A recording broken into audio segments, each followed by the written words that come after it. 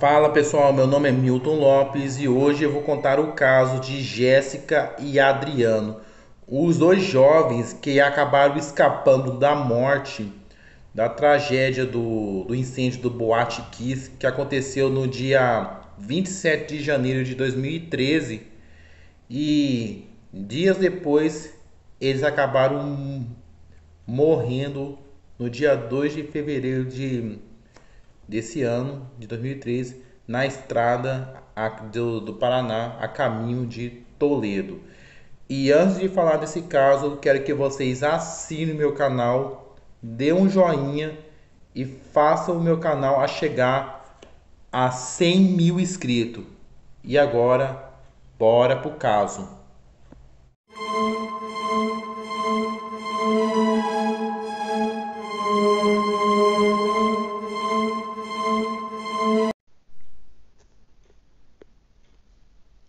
O casal de namorados, Jéssica Lima Ron e Adriano Verba Stefânio, ambos de 21 anos, morreram na noite no dia 2 de fevereiro de 2013, no acidente de carro em Toledo, no estado do Paraná, quando um gol cinza do rapaz se chocou de frente com a carreta de, no, que, no, no BR 319 da rodovia PR 182. O trágico acidente seria apenas mais uma fatalidade se não fossem os fatos que antecederam a morte do jovem casal que o torna a fatalidade ainda mais assustadora. Natural de Santa Maria, no Rio Grande do Sul, Jéssica Lima Rô cursava tecnologia em agronegócio na Universidade Federal de Santa Maria, no campus de município de Silveira Martins, onde morava. Ela era uma das organizadoras da festa aglomerada realizada no sábado, no dia 26 de janeiro de 2013, na Boate Kiss, em Santa Maria, que terminou no incêndio com 242 mortes. A chamada de aglomerado da festa voltada para os estudantes na Universidade Federal de Santa Maria começou às 23 horas no sábado, no dia 26 de janeiro. O evento de acadêmico dos cursos de agronomia, medicina veterinária, tecnologia de alimentos ou zootecnia e tecnologia em agronegócio e pedagogia. O incêndio do Boate Kiss começou entre as duas e três da madrugada de domingo, no dia 27 de janeiro de 2013, quando a banda Gurizada Fandangueira, uma das atrações da noite, teria usado um efeito pirotécnico durante a apresentação. O fogo se iniciou na espuma do isolamento acústico no teto da casa noturna sem conseguirem sair do estabelecimento, 242 pessoas morreram e outros 680 ficaram feridos. A tragédia, que teve repercussão mundial, é considerada a maior história do Rio Grande do Sul. O maior número de mortos nos últimos 50 anos no Brasil. Naquela noite, Jéssica iria a Boate Kiss com o namorado Adriano, mas desistiu a pedido do rapaz. O Adriano teve um mau presságio de que algo de mal iria acontecer a ele se saísse naquela noite e convenceu a Jéssica que estava vestida com a camiseta customizada para a festa, mas na última hora resolveu atender o apelo do namorado e os dois acabaram ficando em casa. No dia seguinte, souberam da tragédia ocorrida naquela noite na Boate Kiss. Quase todos os amigos de Jéssica e Adriano morreram no incêndio da Kiss.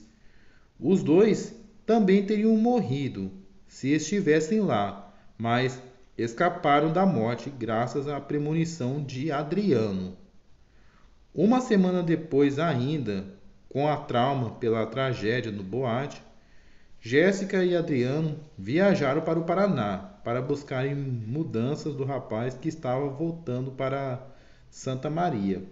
Adriano era natural de Santa Maria, técnico de agropecuária e trabalhava há dois anos em um comércio de insumos de agrícolas em Toledo, Paraná.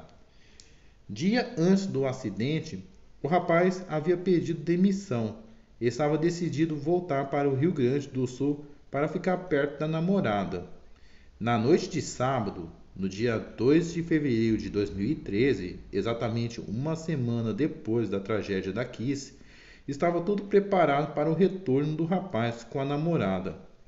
Eram 21, 10 minutos, era 21 horas e 10 minutos da noite, quando o carro de Adriano colidiu de frente com a carreta e com a placa de Cascavel segundo informações da Polícia Rodoviária Estadual do Paraná, no município de Palutina, que foi até o local e Jéssica morreu no local do acidente. O Adriano chegou a ser socorrido pelo Corpo de Bombeiros e levado ao Hospital Bom Jesus, em Toledo, mas não resistiu ao ferimento e morreu no hospital. No dia seguinte ao acidente, o rapaz completaria 21 anos. O motorista da carreta, Neucir do Nascimento, não se feriu. Os corpos do casal de namorados foram transportados na tarde do domingo para Silveira Martins, onde foram velados e enterrados na manhã de segunda-feira, no dia 4 de janeiro de 2013, no cemitério municipal. Assim como no filme Premonição, Jéssica e Adriano deveriam ter morrido no Boate Kiss e escaparam da morte, mas a morte voltou para buscá-los.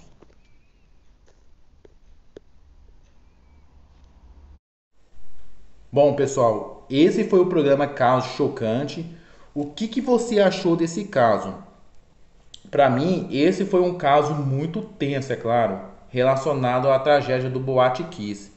Para os jovens que que tiveram sua vida cefados lá naquele local durante o incêndio. Muitos jovens não sobreviveram lá, foram 242 pessoas. Porém, Jéssica e o Adriano, jovens que, que frequentavam o Boate Kiss, queriam até o local, porém, eles decidiram desistir desse, de ir naquele Boate Kiss. E logo quando ocorreu aquele incêndio, eles acabaram escapando da morte, porém não escaparam da outra morte, é claro. Que apesar disso a morte resolveu buscá-los novamente. E isso com certeza lembrou muito aquele filme do, do Premonição. O que, que você achou desse caso?